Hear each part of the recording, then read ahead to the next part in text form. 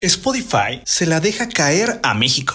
Aumenta el precio de todos sus planes. Esto es lo que te va a costar ahora. Spotify es la plataforma del mundo más ocupada, más popular para escuchar música.